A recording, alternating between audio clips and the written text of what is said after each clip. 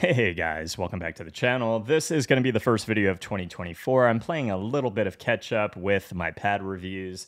This is the GameSense Sonar, and right now it's on sale for $54. So if you've been looking for a reason to enter the glass pad market or give glass a try, I think the price tag is a pretty solid reason because you're getting a 500 by 400 chunk of glass there are just a few things that I don't like about the pad, but comparing glass pads to glass pads to glass pads, they all differ so uh, inconsequentially that it's kind of hard to recommend one over the other.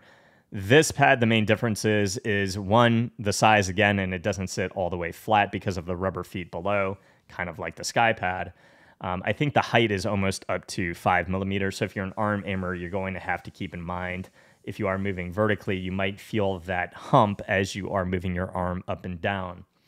The other thing that you'll have to be aware of is the glide feels um, a little bit smoother. It's almost like you're moving your mouse through a substance on the pad because it almost feels like it is slowing you down and catching the mouse more than other glass pads. So it's interesting because it is a glass pad that's supposedly not coated that has a difference um, that you can really feel compared to something like the Super Glide and the SkyPad. So if you're looking for a glass pad that has a little bit more control, this is definitely one that comes to mind. The other thing that I do have to point out is because of the feet on the bottom of the pad, you'll see that the bottom of the pad does have these six rubber feet. And because of those uh, rubber feet, when you are moving your mouse side to side with the GameSense sonar, you'll have a little bit of side to side wobble because those feet are not perfectly resting on my desk. So, is it something that bothered me in game? No. And it's something that you really have to intentionally do. The other thing I noticed about the GameSense sonar is that it does kind of get a lot of moisture on the pad. I was just outside for a run, came in, showered up and I am uh, just touching the pad. And you can really see that the moisture does get onto the surface and then kind of gets away on its own. Um, but if you're in a very humid room, this is a pad that can accumulate quite a bit of moisture. So that's another thing that I would point out. Um, but for $54, I think it compares competitively speaking, gameplay speaking to other pads. Taking this into the finals, I had absolutely no issue with my tracking, my flicks. I think it is a pad that feels good.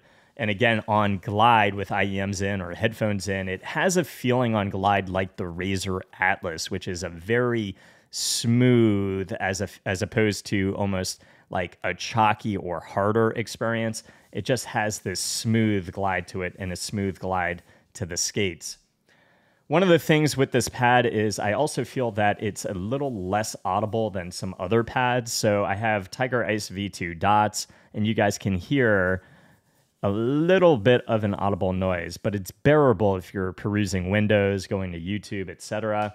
Comparatively speaking, larger skates do have a bit more of a noise to them on the G Pro Superlight.